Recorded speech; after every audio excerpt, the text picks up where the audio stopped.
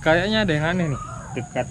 Crank saya. Ada bunyi kretek-kretek kayak gitu. Dan biasanya kalau yang bunyinya di sekitar crank itu yang bermasalah adalah BB-nya nih guys nah karena suara ini tuh sangat mengganggu kayaknya kita langsung aja nih uh, bongkar dan periksa apa yang terjadi di bagian cranknya nih guys yuk. Nah, karena ada masalah di bagian crank ya, maka kita bongkar BB-nya nih guys. Jadi kalau ada bunyi kretek-kretek di sekitar crank, itu kemungkinan besar BB-nya bermasalah nih.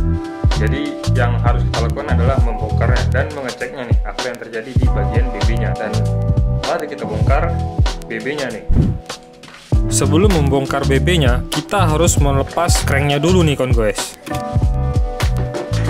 Tipsnya buat yang bingung membongkar BB ini caranya gampang nih putar ini ke arah ban belakang nih kan gue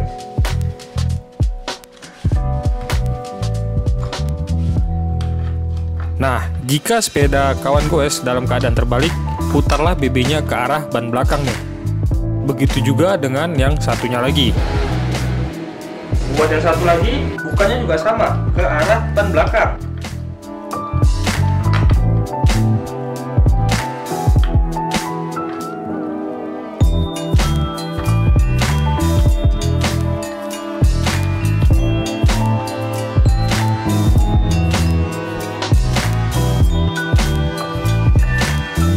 Setelah dibuka, kita harus membersihkan nih bagian BB-nya satu persatu. Jadi suara yang sangat mengganggu di BB itu disebabkan oleh bearingnya yang kotor nih kan guys. Karena itu nih kita harus menjaga kebersihannya nih biar BB-nya tetap loncer dan tidak ada suara yang mengganggu nih kawan guys.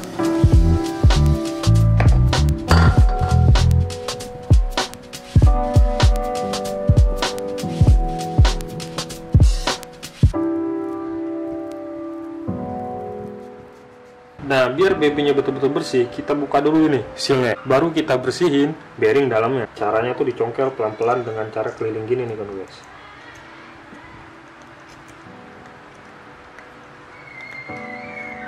Itu terasa dia.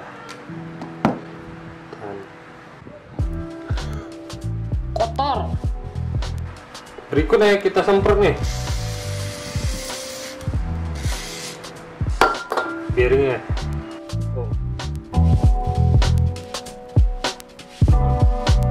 Berikutnya kita buka seal bagian dalamnya nih yang seal terakhir. Caranya juga dicongkel eh, pelan-pelan. Pelan aja ya. Mm dan mulai bearingnya. Ayo ayo. Nah, biasanya kalau BB kita bunyi-bunyi, masalah umum yang terjadi adalah bearing pada BB kita kotor nih. Jadi membuat putarannya itu tidak lancar dan menimbulkan suara yang sangat mengganggu nih guys.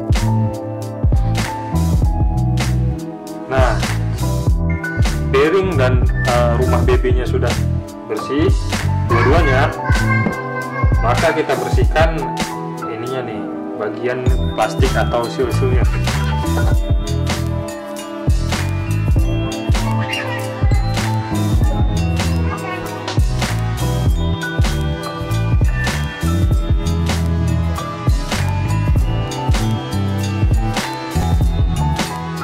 BB-nya aja nih, tapi rumahnya juga kita bersihkan.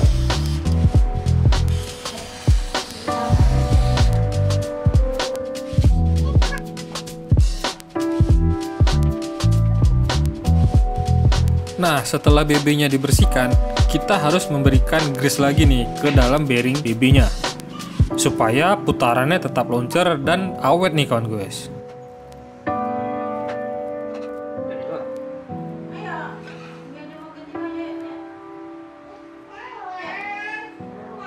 Setelah kita kasih grease, maka langkah selanjutnya adalah memasang kembali semua bagian bottom bracketnya nih kawan guys.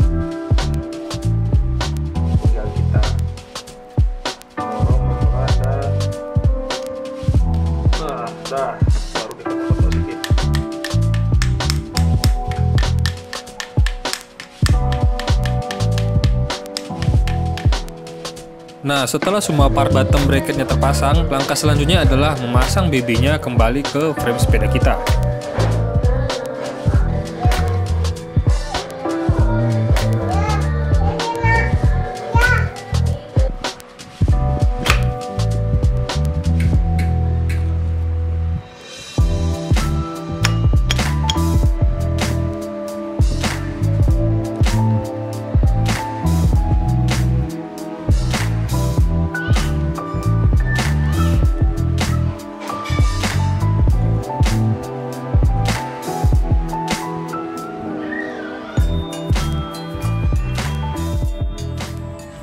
Nah, setelah selesai memasang semua bagian part yang kita lepas tadi, maka saatnya kita mengetesnya nih, apakah masih ada suara kletek-kletek atau tidak.